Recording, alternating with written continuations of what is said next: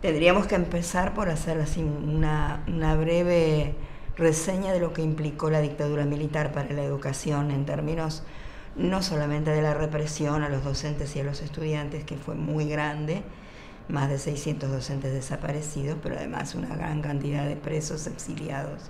cesanteados y excluidos de los listados. Durante el periodo que se inicia en 1983, eh, hay una apertura importante en términos democráticos, hay una explosión de matrícula en las universidades y también en el sistema educativo en general.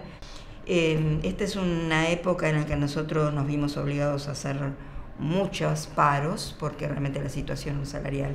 era grave, faltaban escuelas, las condiciones de trabajo eran malas y por supuesto nos comenzábamos a reorganizar como CETERA, ya que la represión que había habido, que había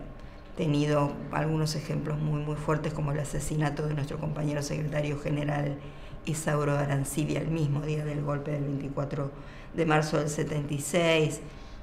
Eh, la etapa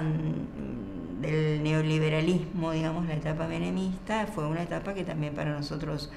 fue de grandes procesos de lucha. Eh, llevamos adelante una batalla ideológica muy importante para instalar en la conciencia de los docentes los peligros de la descentralización disfrazada de democratización, pero que en realidad apuntaba a la este,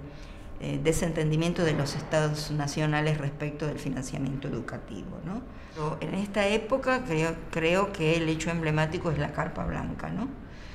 Carpa Blanca surge en un momento en que todas nuestras luchas que se daban provincialmente no conducían, conducían a, fracasos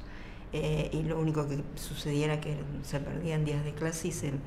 se descontaban los días de paro y no podíamos avanzar, entonces se tomó una decisión de producir un hecho político-cultural que convocara a la opinión pública en general y a la sociedad en su conjunto. Y fue un momento, unos años de, una enorme resistencia popular que a pesar de digamos, el éxito que tuvieron para el poder las políticas neoliberales, yo creo que, si lo comparamos incluso con algunos otros países, fueron los años que construyeron conciencia y agenda popular en relación a cuáles eran los cambios necesarios y que empezaron a producirse ya cuando, luego del estallido 19 y 20 de diciembre de 2001, comienza el periodo de, cambio histórico. Eh, bueno, la transición que termina con el asesinato de Costequi Santillán y determina el adelantamiento de las elecciones, y el gobierno emergente de Néstor Kirchner, que para nosotros no tenía ninguna confiabilidad en un principio, pero que rápidamente, ya desde su discurso del 25 de mayo, escuchamos cosas diferentes respecto de la educación y esto fue puesto en acto rápidamente cuando el ministro Filmus con Néstor Kirchner y Marta Maffei, que era la secretaria general de CETERA, fueron a Entre Ríos a resolver el que no se pagaba salarios desde hacía cinco meses pero lo mismo pasaba en otras provincias. Todo lo que significó luego, a ver, hay una foto para mí muy importante que es Hugo Yasky hablando en la Casa Rosada presentando la ley de educación y la ley de financiamiento, es un momento muy importante, ¿no? donde justamente como nunca había sucedido en la historia, converge la voluntad política de un gobierno con la construcción político-sindical que había hecho nuestra organización. Esa es una,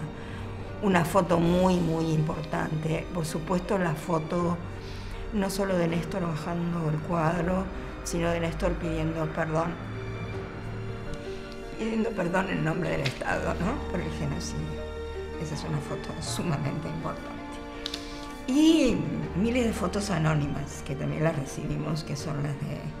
los docentes en las escuelas en las escuelas en La Puna, en el conurbano bonaerense,